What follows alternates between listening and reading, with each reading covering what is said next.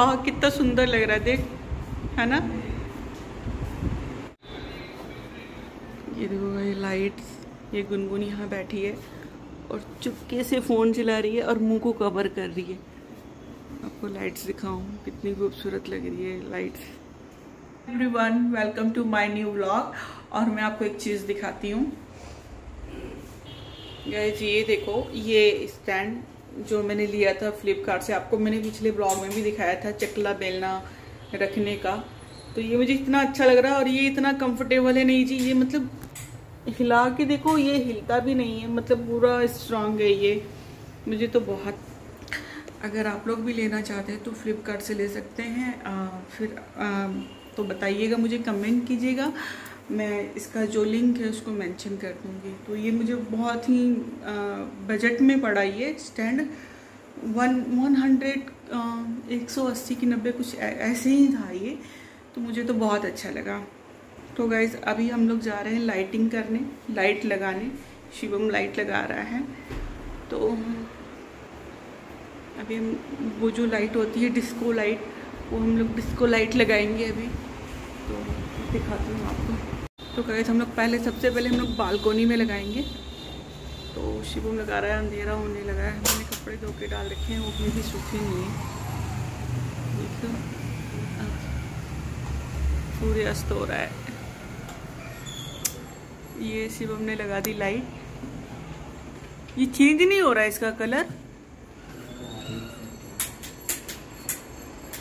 वाह हाँ अब ठीक है। अब अच्छा लग रहा है। अब हम लोग दूसरी लाइट लगाएँगे।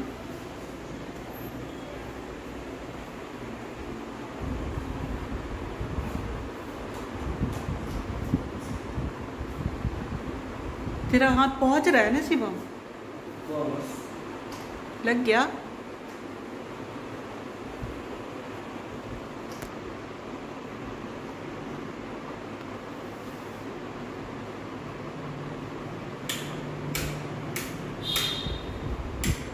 वाह, हो गया। लाइट ऑफ़ करना ये वाला, तब अच्छे से पता चलेगा। उधर से होगा शुरू। अच्छा लग रहा है ना?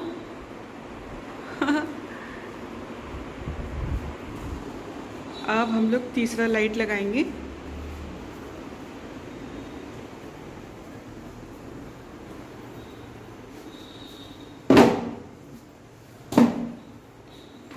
किचन में लगा रहे हैं हम लोग।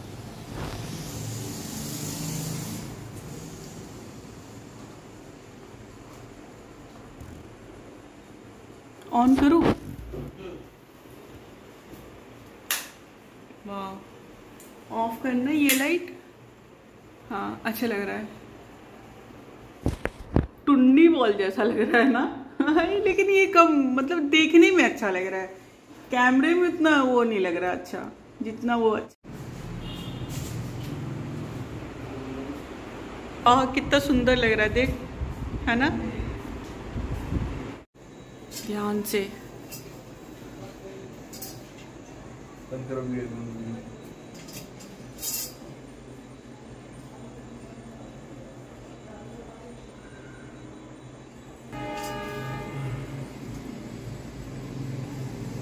आराम से।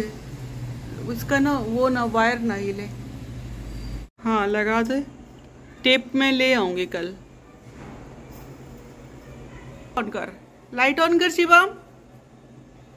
मम्मी ये ये बहुत सस्ता है। करो। हाँ अब अच्छा लग रहा है। डन हाँ अब ठीक लग रहा है। तो वैसे हम लोगों ने लाइट लगा ली है। हमने अपनी खुद की लाइट लगा ली है। सबके तो लगे हुए थे। तो हम लोग जा रहे हैं चाय पीने, हम लोग चाय पियेंगे। और चाय पीते पीते मैं सोचूँगी कि आगे मुझे क्या करना जा रही हूँ, खाना बनाने। और खाने में मैं बना रही हूँ करेले की सब्ज़ी, पहले मैं आपको दिखा दूँ। करेले, ये देखो। करेले का भुजिया बोलते हैं इसको। जो ये प्याज है, ये भी पकता रहेगा और करेला भी पकता रहेगा। मैं प्याज के साथ इसलिए सब करेले के साथ पकाती हूँ ताकि आ, इसका जो प्याज का मीठा बनेगा वो करेले में आ जाता है। तो बच्चों को ऐसे ही पसंद है। तो इसीलिए इसके साथ ही डाल देती हूँ।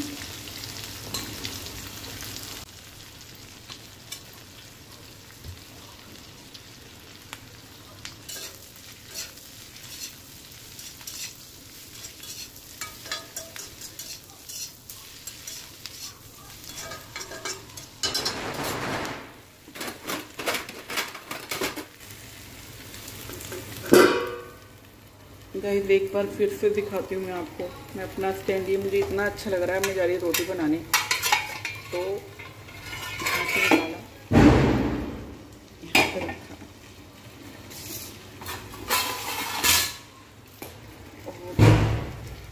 चकला यहाँ से निकाला। यहाँ से रख, यहाँ यहाँ पे रखा। और मैंने लिया और यहाँ पे रखा।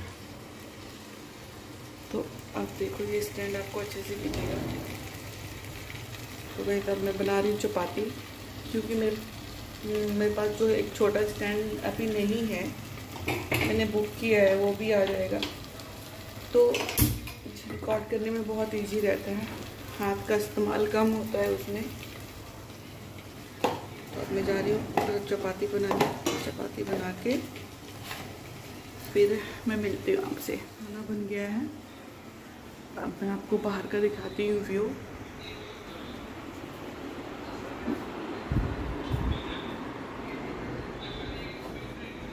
ये देखो ये लाइट्स ये गुनगुन यहाँ बैठी है और चुपके से फ़ोन चला रही है और मुँह को कवर कर रही है। आपको लाइट्स दिखाऊँ, कितनी खूबसूरत लग रही है लाइट्स भाई अब मैं अपना ये जो मेरा ब्लॉग है, मैं इसको यहीं पे एंड करती हूँ, ख़त्म करती हूँ। और मैं कल मिलती हूँ आपसे न्यू ब्लॉग में आप सबको bye bye and good night